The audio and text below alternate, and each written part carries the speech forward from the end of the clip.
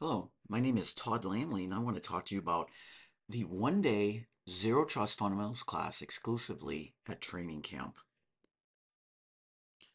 First, we need to understand what Zero Trust is, so you one might want to understand why you want to take this class, followed by the two day more advanced class. So, what is Zero Trust? It's a security model, it's nothing by itself, it's a strategy and framework. So, it's a framework much like ITIL is for management. Never trust, always verify is our mantra. We're never going to trust a single person. I don't care if they're on VPN. I don't care what kind of logins they have. We never trust them. Just understand this isn't a single technology and we have to build on top of that.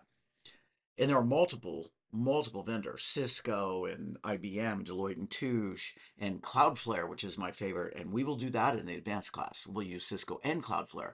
In this class, we're going to use Cisco Zero Trust, which is very, very popular. Zero trust basic assumptions, the network is assumed to be hostile.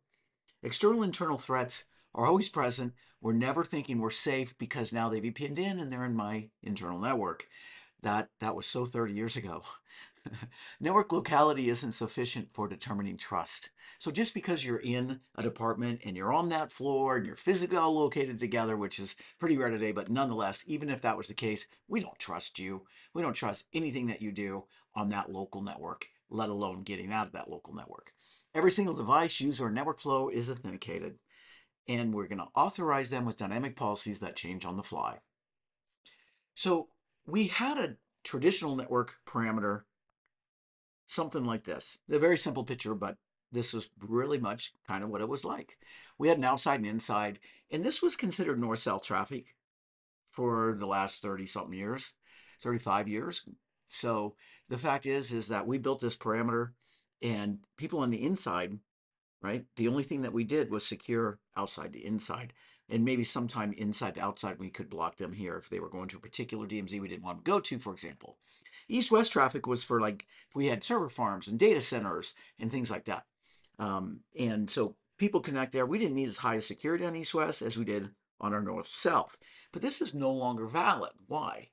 Because we now have what's called Secure Access Service Edge, or we have cloud-based networking. And now you might say, we don't have any of that. Everything's on-prem. For now, it will all eventually be in the cloud. Resistance is futile. I don't know what the time frame is, but that's our future. I think you know that. Now, what I've been working on the last 10 years or so was something called Next Generation Firewall, and this has worked pretty well. This really helped us do our north, south, east, west security and really granular. However, again, it didn't stop us if we were on the inside network from doing whatever we, almost we wanted to do. So that's where Secure Access Service Edge comes in. This is a security as a service, end to end from your network all the way cloud and back. And as the user, the customer or the user on the computer doesn't know anything right? They're there. They think they're on a particular website. They're not. They're connected into the SaaS, which then connects into that website.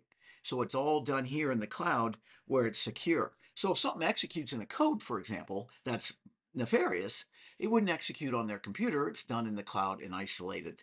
So that's a real reason we want to do this. Now, this is real-time context and security, okay? And we'll get into this. Now, we need to understand that the gist of Zero Trust is networking security have to be part of the same architecture that's delivered from the cloud. And that's what Zero Trust gives us and our older security, I'm going to call it that, next generation firewall couldn't give us that. It couldn't give us from internally all the way to our cloud-based applications. So now we're going to have security from end to end, trusting nothing that's happening from beginning to end. So after completing this course, this fundamentals course, you'll be able to explain what Zero Trust is and what fundamental problems it solves. I kind of mentioned it, but we'll get into more detail about that. We're going to describe how corporate networks are implemented today and then how we can implement our SaaS security.